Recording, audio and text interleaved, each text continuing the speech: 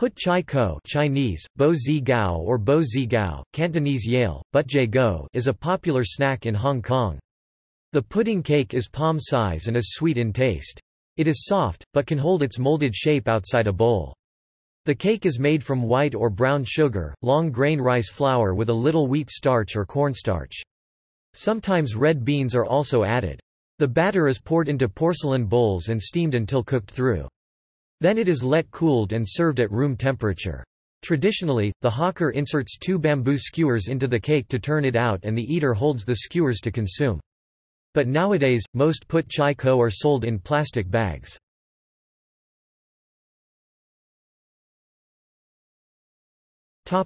Names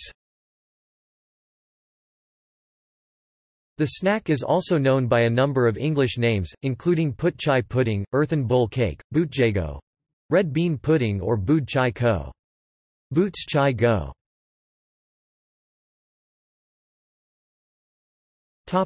History The pudding is made like other traditional Cantonese steamed cakes. It is said to have originated in the Chinese county of Taishan, which is 140 kilometers 87 miles west of Hong Kong. The pudding reached its popularity peak in the early to mid-1980s when hawkers sold it all over the streets in their push carts.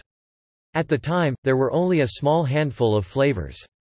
One of the dish's cultural trademarks is that it is served in a porcelain bowl or an aluminium cup. The snack is still available today in select Chinese pastry or snack shops, or from street hawkers.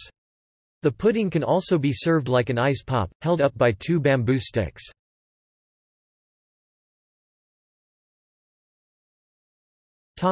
Classic Hong Kong flavors.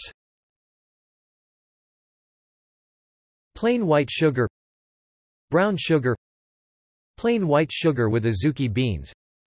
Brown sugar with any one of the beans in the genus Vigna.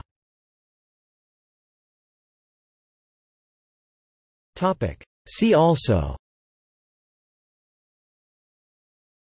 Egg tart. List of steamed foods